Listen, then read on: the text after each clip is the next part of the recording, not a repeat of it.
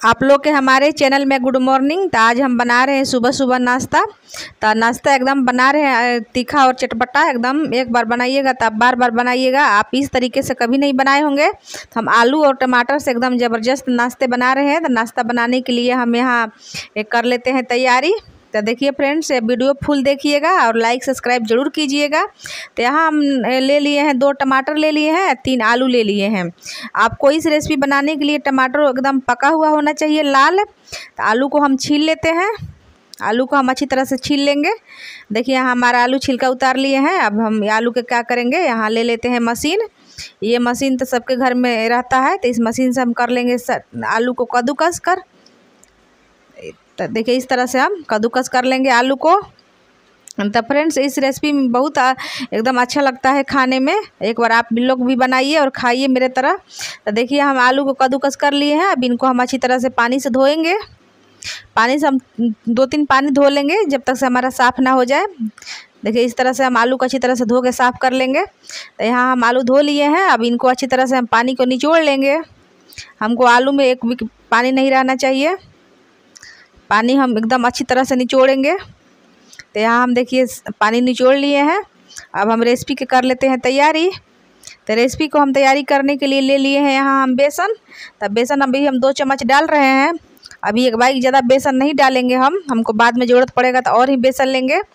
तो यहाँ हम ले लिए हैं आधा चम्मच हल्दी पाउडर डालेंगे, आधा चम्मच लाल मिर्च पाउडर डालेंगे, आधा चम्मच जीरा मिर्च की पाउडर डाले हैं, आधा चम्मच गरम मसाला डाले हैं, इसमें हम आधा चम्मच काला नमक डालेंगे और इसमें हम थोड़ी सी अपने स्वाद अनुसार से नमक डालेंगे जो किचन में हम डेली यूज़ करते हैं। तो फ्रेंड्स, इस तरह से सारा आपको मसाले तीखा चटपटा के लिए डालना है। बारीक कटा हुआ धनिया पत्ता डाल देंगे हम छोटी छोटी हरी मिर्च काट लिए हैं अब हम इस सारा हम मिक्स कर लेंगे। यहाँ अदरक हम ले लिए हैं। अदरक को हम कद्दूकस करके डाल लेंगे। अदरक को भी हम कद्दूकस करके डालेंगे। फ्रेंड्स और भी आपको कोई भी मसाले पसंद है तो अपने पसंद से कोई भी मसाले डाल सकते हैं। अगर कोई पसंद नहीं है तो आप हटा भी सकते हैं। तो यहाँ हम थोड़े से डाल देंगे पानी। पानी हम ज़्यादा नहीं डालेंगे हम, क्योंकि आलू में हम नमक डाले हैं। तो आलू ऐसे भी पानी छोड़ेगा तो इसलिए हम अभी ज़्यादा पानी नहीं डाल रहे हैं। हमको थोड़ा सा बेसन का ज़रूरत पड़ेगा तो हम फिर बाद में थोड़ा सा ले लेंगे। ज़्यादा बेसन नहीं लेंगे, हमको उतना ही बेसन लेना है जितना कि हमको आलू में चपक जाए। तो थोड़ा सा हम डाल देंगे जवाइन मंगरेल ये मिस के हम ज़्यादा नहीं डालेंगे। यहाँ हम टमाटर के देखिए गोल गोल काट लिए हैं, ज़्यादा मोटा भी नहीं काटना है आपको, ज़्यादा पतला भी नहीं काटना है। इस तरह से आपको टमाटर को काट लेना है। अब चलते हैं हम गैस की तरफ़। तो गैस पर रख दिए हैं कढ़ाई कढ़ाई में हम डाल देंगे सरसों तेल। और तेल हम गर्म करके इस तरह से हम नाश्ते को बनाएँगे। तो हम नीचे से रख देते हैं आलू वाला हम और ऊपर से हम रखेंगे टमाटर का ये कटा हुआ पीस, फिर ऊपर से हम डाल देंगे। अच्छी तरह से उनको हम डाल के तोपेंगे ऊपर नीचे। अब फ्रेंड्स आँच को आप मीडियम ही रखिएगा। आप आँच ज़्यादा तेज़ रखिएगा तो ऊपर से क्या है कि जल जाएगा, अंदर से कच्चा ही रहेगा। तो इसलिए आँच को मीडियम ही रखकर इस रेसिपी को आप बनाइएगा। तो देखिए, फिर से हम जिस तरह से आप वीडियो में आप आसानी से देख सकते हैं कि हम किस तरह से करते हैं, आप इस तरह से भी करके बनाइएगा। तो फिर हम नीचे से रखेंगे और ऊपर से हम रख देंगे टमाटर के कटा हुआ पीस। फिर उनको हम तोपेंगे। इस तरह से हम सारा करके हम रख देंगे कढ़ाई में। कढ़ाई में हम उतना ही रखेंगे जितना कि हमारा कढ़ाई में आ जाए और उलटने उलटने, पलटने में हमारा दिक्कत नहीं हो। तो इसीलिए हम कढ़ाई में उतना ही डालेंगे।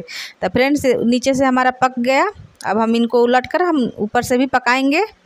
उलटते पलटते हुए दोनों तरफ़ से हम पकाएँगे। ये आलू और टमाटर का एकदम ज़बरदस्त नाश्ता है। फ्रेंड्स, एक बार आप लोग भी बनाइए और खाइए। फिर बताइएगा कि कैसा लग रहा है।